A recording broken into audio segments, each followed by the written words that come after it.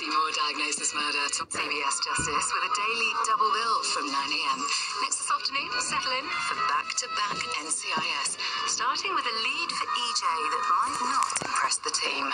But this for that one on CBS Justice.